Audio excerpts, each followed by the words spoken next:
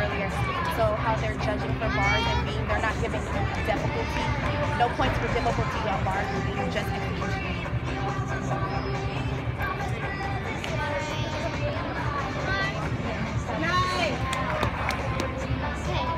Good girl.